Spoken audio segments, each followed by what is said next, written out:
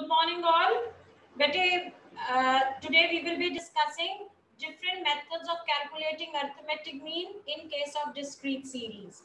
Yesterday only I told you all the methods. I'm repeating the methods. First is a direct method. Direct method में simply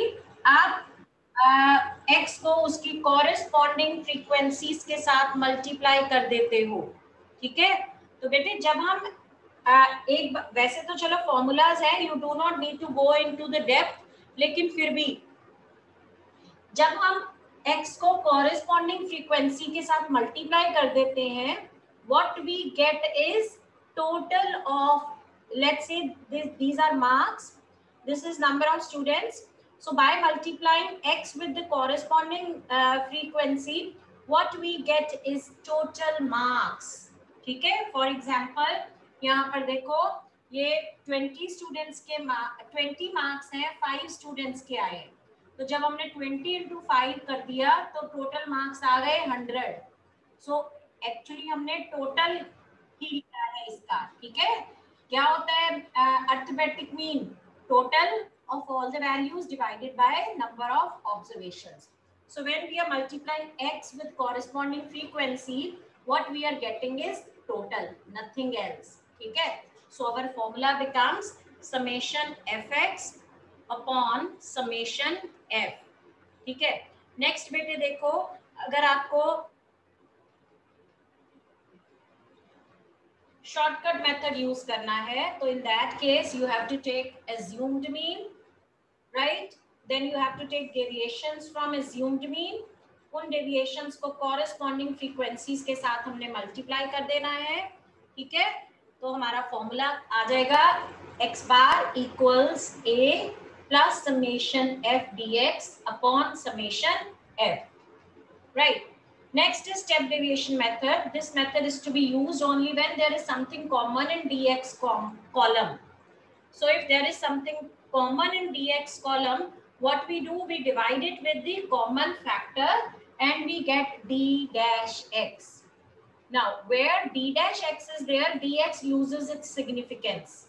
ठीक है जहाँ पर dx आ गया d dash x आ गया dx की significance lose हो गई अब आपने जितनी भी further calculations करनी है उसमें d dash x को use करना है so you have to multiply d dash corresponding frequencies you get इसका total ले लिया summation f d dash x and then apply the values in the formula x bar equals a plus summation f d dash x over summation f into c.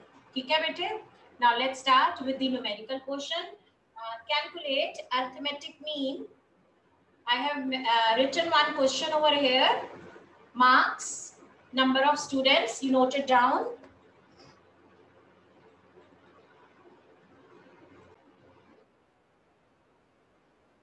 All right students.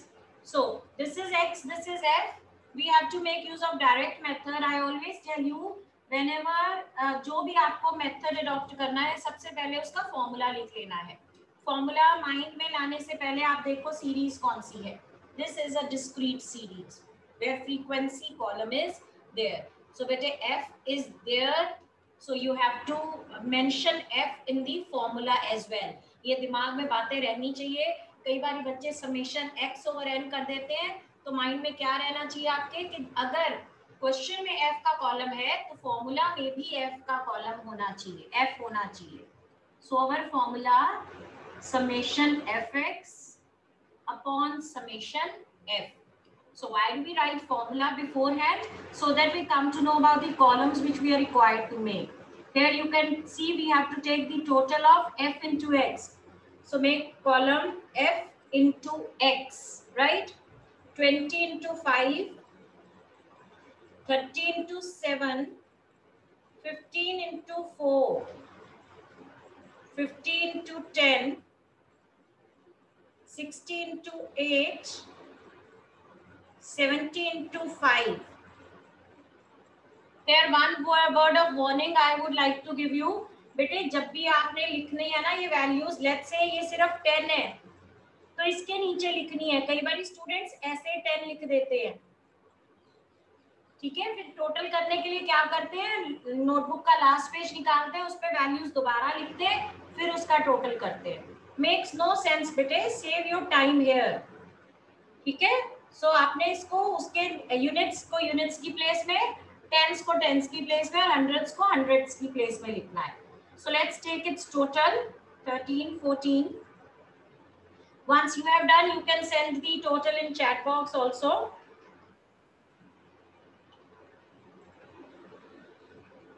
So according to me this is the total. Here bete number of observations is sigma f. Do not take 1 2 3 4 5 6 no. You have to take the total of frequency column. So let's take the total 5 10 17 uh, 25 30 3 4 5 so according to me these are the totals. Now i am putting these in the formula. Summation fx 2240 upon 50 0 0 cut ho gaya bete. Now you can divide it. 5 fours are 20 again 5 fours are 20 40 आ गया 44.8 arithmetic mean is 44.8 marks marks लिखना है साथ में लिख दो। Marks का ही mean निकाला है आपने बेटे। सो so, बेटे जब भी आप आंसर लिखोगे it's always better to you know in circle और put the answer in a box so that examiner just see the answer and ticks it and comes to note और नीट एंड क्लीन बनाना है। ये बच्चों की आदत होती है मल्टीप्लीकेशन जो है, वो आसपास नोटबुक के आसपास करते जाते हैं। नो बेटे if you need to do calculations make a margin and then do all the calculations over there got it done बेटे? Shall i raise it?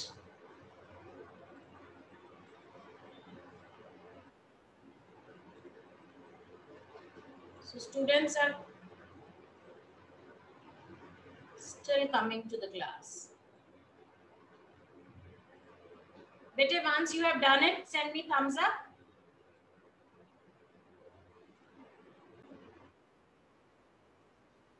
Second question, calculate arithmetic mean using shortcut method. So same statement आप उतार लीजिए marks 20, 30, 40, 50, 60, 70 number of students. Now, we are to make use of shortcut method. So firstly, we will be writing down the formula, which is x bar is equal to a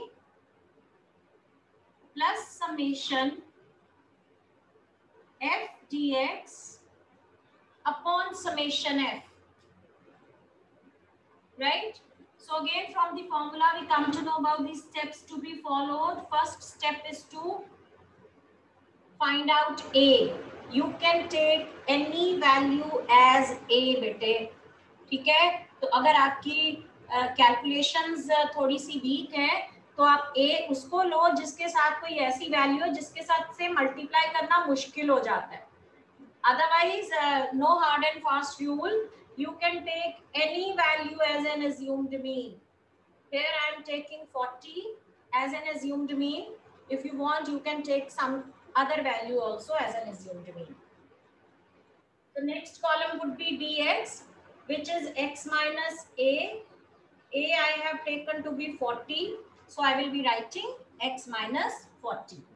So 20 minus 40, 30 minus 40, 40 minus 40, 50 minus 40, 60 minus 40, 70 minus 40.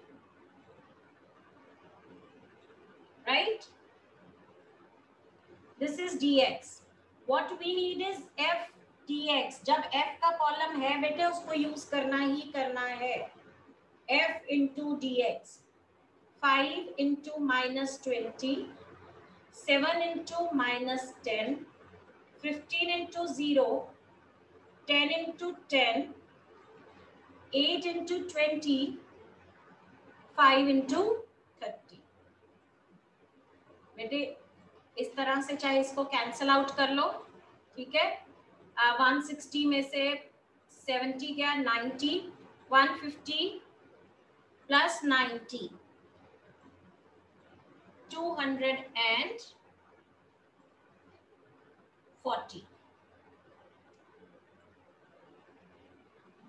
right?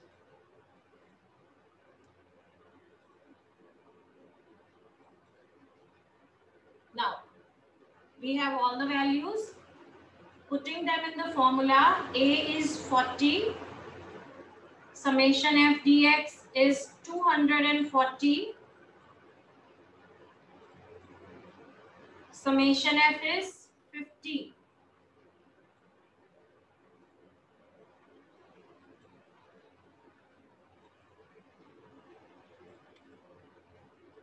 ठीक है so you get x bar as 40 plus 24 divided by 5 you get 5 fours are 20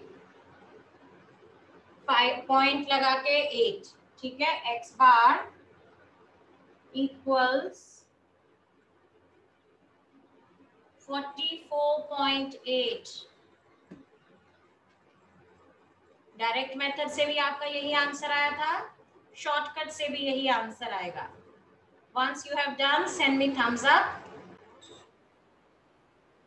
right so let's move on to third formula third method of calculating arithmetic mean which is step deviation method right of with calculate arithmetic mean using step deviation method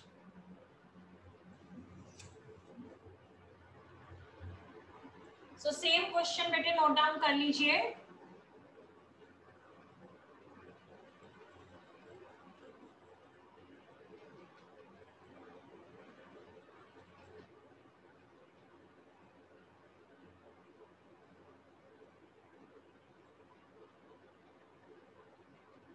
marks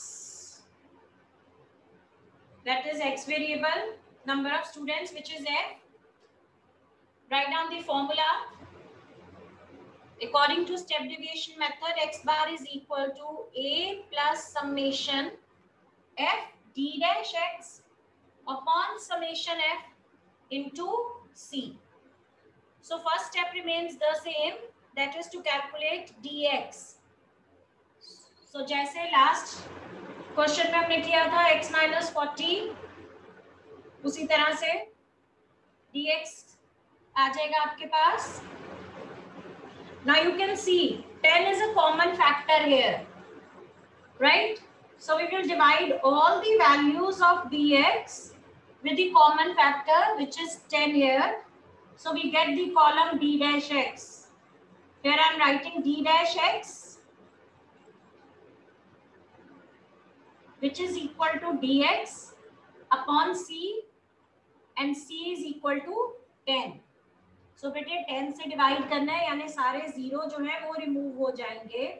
So you will be left with minus two minus one zero one two three right but then we have to make use of F as well कई बार बच्चों को लगता है अच्छा दो columns बन गए बस चलो इसका टोटल हो काम खत्म फॉर्मूला में वैल्यू पुट करो. नो बेटे when F is there you have to make use of f. It's just like you are given ingredients to make a recipe. You have to make use of this ingredient as well. F into D dash X. 5 into minus 2. 7 into minus 1. So बेटे ये 7 into minus 1 आपने 0 के नीचे लिखना है ठीक है Then 15 into 0. 10 into 1. 8 into 2. 5 into 3. So so, ये टेन टेन रिमूव हो गया बेटे इसमें से माइनस सेवन हो गया nine nine plus fifteen twenty four so you can put the values in the formula now x bar equals a which is 40 summation plus summation f d dash x which is 24 upon summation f which is 50 into c which is 10 So remove this. You get x bar equals 40 plus 4.8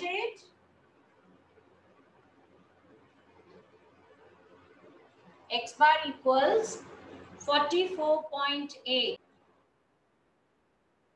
coming to continuous series just like in case of individual and discrete series uh, in case of continuous series also arithmetic mean can be found by uh, making use of these three methods, which is direct method, shortcut method, and step deviation method. What's the difference between discrete and continuous series? Better discrete series is used to classify discrete variable. Discrete variable is the one whose value changes in jumps, in whole numbers. Like in the last case, we did from 20 to 30 to 30 to 40 and so on. Whereas in case of continuous series, better uh, the variable is given in the form of class intervals like this. Right? So no single value is there. So first step is to find out the mid values. In case you are given as you are given to find out arithmetic mean of continuous series, the first step which you have to do is to find out mid values. We know how to find out mid values, which is lower limit plus upper limit divided by 2, right? So this is the first step. So when you get the mid values, the series take assumes the same shape as that of discrete series, right? So the formula or the method or procedure remains the same. The only thing is here, uh, instead of x, you are writing m because this is x. So the mid value we can uh, denote by m. If you are denoting mid value by x, so you can write it the same formula as that of discrete series. That is x bar equals summation fx over summation f. But I take mid values as m. So I'm writing the formula as direct method x bar equals summation fm upon summation f. Where you can write down m refers to the mid value right? Similarly, shortcut method x bar equals a plus summation f dm upon summation f. So only difference is you have replaced x with m. Third is step deviation method. x bar equals a plus summation f d dash m upon summation f into C. C is common factor and in case of continuous series beta common factor is always equal to the size of class interval. So you need not uh, use your brains. You just know that here the uh, common factor is equal to the size of class interval. अगर 10 का class interval है तो 10 would be the common factor. अगर 5 का class interval है तो 5 would be the common factor. ठीक है? So you learn these formulas by tomorrow and tomorrow we will be doing uh, questions related to continuous series. And because the continuous series are of various types, inclusive, uh, operand series, cumulative frequency form, unequal class intervals, mid-value series. So we will be make, doing one question each of different types of series, right? So बेटे इसके साथ साथ आप assignment notebook में जो exercise questions है वो करते जाइए ठीक है?